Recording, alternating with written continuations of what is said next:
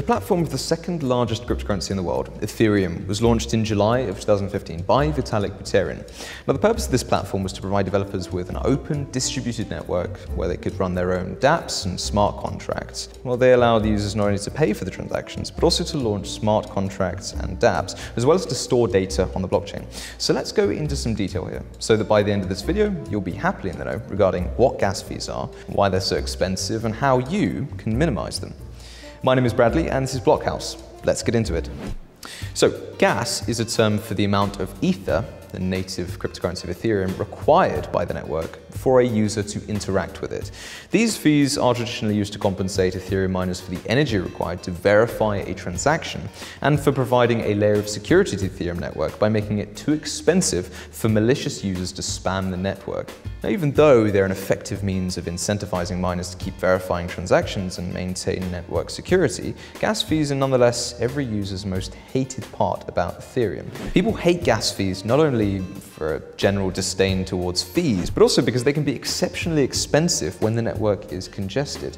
So let's dive into what makes gas fees so expensive and also the simple steps you can take to save money when interacting with Ethereum's ecosystem.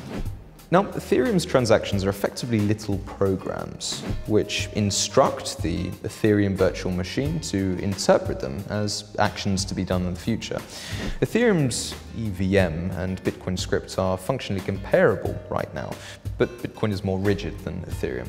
Ethereum's developers gave consistent values to its various operations. Each piece of work in Ethereum has a present gas value that is not affected by Ether's value.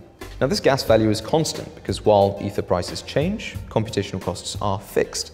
Gas allows Ethereum developers to distinguish between the computational cost and real value of activities. This solution makes Ethereum and its network available independent of Ether's price. A smart contract's check the balance of an address function will always return 1000 gas in the network. In order to accomplish this action on Ethereum's blockchain, a small commission in Ether must be paid.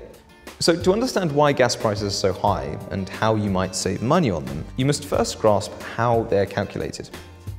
Because gas fees are normally significantly smaller than one ether, though it doesn't always seem that way, Ethereum uses a metric system of denominated units called Wei, where one ether is equivalent to one quintillion Wei. And by the way, a quintillion is a number followed by 18 zeros. The gigawei, or Gwei for short, or 1 billion Wei, is one of the most popular Wei denominations and is used to represent gas taxes. As a result, if you look at a gas tracker and find that the average gas for a transaction is 100 Gwei, you should expect to pay a base fee of 0.00000001 Ether for a specific transaction. This is because the basic costs are only one component of the overall price structure. Following the new gas charge structures introduced by Ethereum's London update, which was a precursor to Ethereum 2.0, which brought some important changes to the platform, specifically in how mining is done and what kind of transaction fees are involved, the total fee can be computed as follows. Total fee equals gas unit times base charge plus tip. So let's break this down. Gas units limits, this is the most money you're willing to pay on a transaction. While you may change how much gas your transaction will cost, you must do this with caution. This is due to the fact that different sorts of interactions with the Ethereum blockchain will take varying amounts of gas to complete. The base fee is the smallest amount of gas necessary to include a transaction on the Ethereum network. The amount of gas needed for a basic charge is determined by the demand for a transaction to be included, independent of its form. Base fees are dynamically modified depending on the amount of users interacting with the network at any one moment since they are a demand factor. Tips, also known as priority fees, are an extra amount paid to expedite the completion of a transaction. And this charge is sometimes known as a tip since it gives Ethereum miners an incentive to confirm your transaction before others. Now, when a miner confirms a transaction that includes a priority charge or a tip, they get that money as a tip, right? Miners would prioritize transactions that come with the biggest tips attached to make most money, since they can identify which transactions include tips. And here's the total fee structure once again. Total fee equals gas unit limits times base charge plus tip. What if I told you that in certain cases, total fee equals gas unit limits times base charge plus tip times zero? Well, knowing the basic rules of mathematics, it's not hard to calculate that in this case, you don't have to pay any fees while conducting a transaction. Remarkably, yeah. Does that mean that everything I was talking about only works in certain cases? Unequivocally, no. But in some cases, someone could pay the commission of your transaction for you. And I'm going to tell you a bit more about how this works later. It's crucial to remember that if you set your gas unit limit to less than the quantity of gas required to finish your interaction, your transaction will be cancelled, but you will not receive your gas money back. That's because the miner has already done the comparable amount of work that's needed to well, complete the transaction, and they get paid even if that transaction fails. As an example of the total fee formula, suppose I want to send you one Ether, and the average amount of gas required to transfer Ether on the Ethereum network is 23,000 Gwei. That would be my gas limit. The lowest amount of gas necessary to transmit a transaction at the time, base charge, is 150 Gwei. But I wanted to reach you as soon as possible, so I add a 20 Gwei tip to the transaction. In this situation, our total charge formula would be as follows. The total cost of sending you one Ether is 23,000 Gwei times 150 Gwei plus 20 Gwei. Following that, the total cost would be 3,910,000 Gwei, or 0.00391 Ether. This implies I'd contribute 1.00231 Ether to the Ethereum network, and you'd get one Ether to spend on nice JPEGs.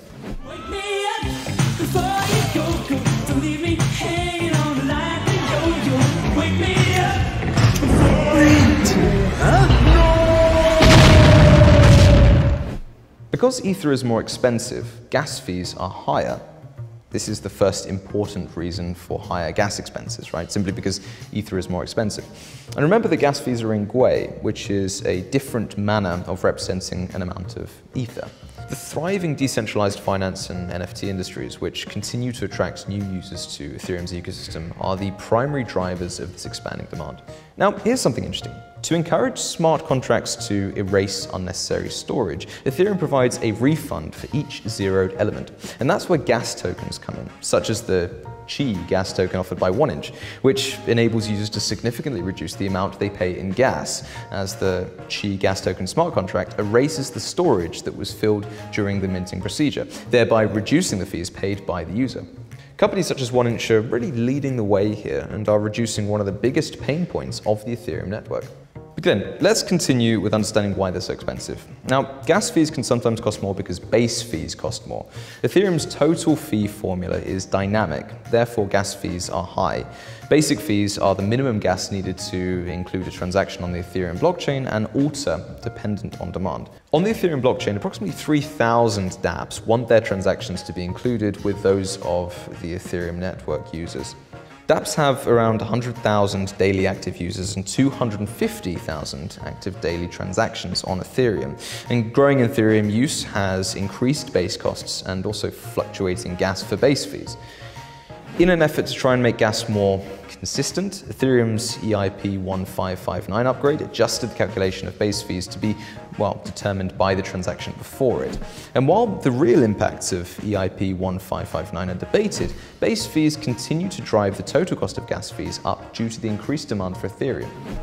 Ethereum 2.0 is a significant update to the Ethereum network that will see the Ethereum consensus migrate from proof of work to proof of stake. And among several benefits to the network, the update aims to put Ethereum rates in line with other market rivals by dramatically boosting transaction processing capacity and eliminating the need for miners. And while it's difficult to avoid paying for gas fees when utilizing the Ethereum blockchain, there are various methods you can use for lowering it. First of all, choose the right time and be patient. Unfortunately, you cannot directly lessen the impact of the gas unit. However, you may reduce your overall charge by cutting the basic fee and also the tip. You may choose to make your transaction when fewer people are using the blockchain to reduce your base gas fee. Base fees measure Ethereum's demand, right? Gas prices climb when more work is required to use Ethereum. More users require more network effort, right? If you can find a time when the Ethereum network is less busy, you can lower the transaction's basic fee to save on gas. Weekends are good for this and also tip less to save on gas. Remember that we may actually give miners a tip for faster transaction speeds, and if your transaction isn't time sensitive, decreasing your tip may save gas. But also set a transaction maximum. Setting a maximum gas fee limit can save you money. Setting a maximum gas fee tells the Ethereum blockchain that X amount of Gwei is the most you'll pay. When the transaction is complete, the Ethereum network returns any unused maximum gas fee. And also setting limit fees may help you save money on gas and ensure you don't overspend on a transaction. A max fee, less than the entire gas required to complete a transaction, results in you losing your gas fee and having the transaction cancelled. Ethereum Gas is a vital component of the network that serves the purpose of rewarding players for their participation in the network's effort to keep the platform secure and operationally efficient. It is essential to have a solid understanding of its calculation and application concepts, and this specifically for people who want to learn more about decentralized finance and use blockchain technology in their day-to-day -day lives. Depending on the specifics of the transaction at hand, gas may be put into use either in the execution of the functionality of smart contracts or in the straightforward transfer of Ether or ERC20 tokens over the Ethereum network. Both of these use cases include the Ethereum network, and as a result of the London upgrade, customers now have the opportunity to give tips that are significantly larger in order to facilitate the prioritizing of their transactions. The price of gas shifts constantly in response to the volume activity that is taking place on the network at any place in time. But how can you avoid paying gas or dramatically save on it? So, as of September last year, 1inch, the same project responsible for the Chi gas token that we spoke about earlier, began to compensate the users of its DEX aggregator for the gas fees that they were paying. And this came out of the fact that many users were actually quitting DeFi as a result of Ether's incredibly high gas fees. And this initiative became known as the 1inch Gas Refund Program, which enabled the platform to surpass $170 billion in total trading volume on Ethereum. The refund amount actually depends on how much of 1inch's native token is staked, and users who who stake over 100,000 1inch are actually able to get 100% of their gas fees refunded. In other words, they don't have to pay gas fees at all. It turned out that this program was pretty successful due to the ease of staking the 1inch token. It can actually be done via their mobile app in just a few clicks. So look, today we've aimed to cover three main points. Firstly, we've explained gas fees and answered the question of their existence. Secondly, we've explained why they're so expensive. And lastly, we've explored ways that you can minimize how much gas you pay, and even ways that you can avoid gas fees entirely. Now, if you think we've done all of that, make sure to leave a like and subscribe. And don't forget to hit the bell notification so you're always up to date when we upload a new video. My name is Bradley, and I'll see you in the next video.